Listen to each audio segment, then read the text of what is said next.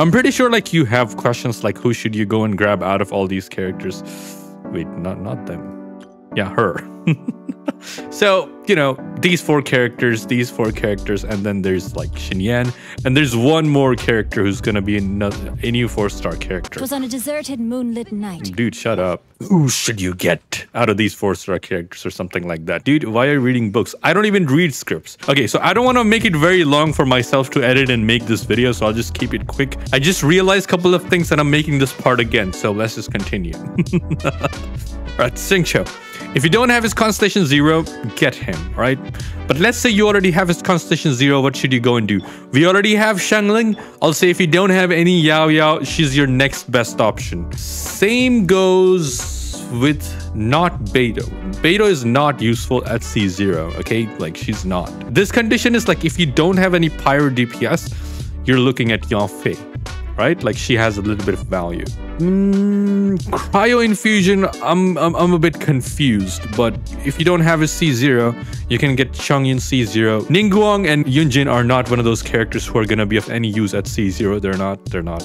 So we're looking at if you have this guy's C0, then go and grab those characters. Now, next up, constellations. If you already have C1 of Xingqiu, getting C2 is going to be absolutely insane. If you don't have C2 Xiangling, stay at C1, stay at C0 is perfectly fine. But if you have C2 Xiangling, I will highly recommend you make your way to C4 Xiangling. That's going to be something super good. But only do it after you have Constellation 2 Xingqiu because C2 Xingqiu is kind of cracked. C4 Xiangling is more important than C6 Xingqiu. Just bear that in mind. So these two characters are done now. Beidou. So if you already have Xingqiu and Xiangling at Constellation 2 and Constellation 4 respectively, tactics, then I'm always ready. Come on, Beidou. We'll, we'll fight later. If you already have C1 Beidou, then try getting her C2. And there's also one more condition, and that condition is that you're not supposed to have Raiden Shogun.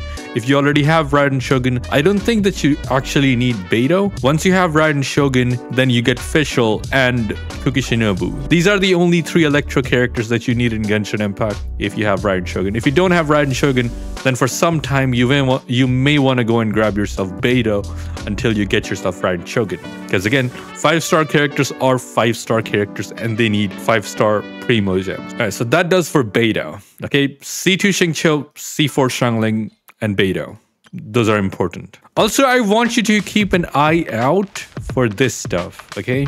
Go to shop, these things, just save this thing, okay? When you go and wish, don't use it. Save these things and buy these constellation. C6 Fischl is absolutely broken. C6 Xiangling is absolutely broken. About Yao Yao, I'm, I'm not gonna recommend you to go and grab her constellation because at some point in the game, okay, if you're like me, you will eventually go and grab yourself Baizhu. He's way more complete character than Yao Yao. And on top of that, he's a catalyst user. So you can also have him as an on-field driver. So for someone like me, I just don't see a value in Yao Yao. So Yao Yao loses value over there. The only character who does not lose any value are Xiangling and Xingqiu. C6 Xingqiu and C6 Xiangling are two of the most cracked character in the game. If you have their C6, then you can decide to get more constellations of Beidou. Someone like Yao Yao, if you don't don't want to get yourself Baizhu. So for me personally, only two important characters are Xingqiu and Xiangling, which are just the most used character in Genshin Impact. You won't believe me if I tell you that I bought like three constellations of Xingqiu from this place. I had to buy a lot of Xingqiu because I never, never... Also, you guys need to understand, you can save a lot of Primo Gems. Like, the 10,000 Primo Gems worth nothing. I can go and spend all of it. Chances of me actually getting, let's say, someone like her is literally zero. About Yunjin, she does a lot of things, but there are barely any characters in the game that are to take advantage of her. Like, she does burst damage. This guy needs you to do... I mean, there are other options that are way better than Yunjin. So there's absolutely no reason for you to go and get her. Like, unless I don't know. you, you, really don't need this character. Ningguang, there is some value because yeah, we got this new artifact set that that has all the defense, you know. She's only good after Constellation 6, okay? As a DPS character, because 4-star characters absolutely lack in damage. Like, they're not the character you want to build as main DPS characters. Unless like you go and have this weapon, five star catalyst. This artifact set is pretty good. Okay, like I'm not gonna lie, it's a pretty insane artifact set. Yeah, this does gives you the reason to get her, build her, and have fun with her. Only if you can get her Constellation 6. Okay. Without Constellation 6, I'm not building her. To, about the new 4 star character. He's an on field DPS. Who the f is gonna use him? They're just for fun. Again, if you don't have Constellation 6, I'm not recommending. And about Xinyan? Xinyan? Yeah, forget about her. Just listen to her music. That's pretty much it. Apart from that, you don't need her for anything. Okay. All right. Was that a good video? No.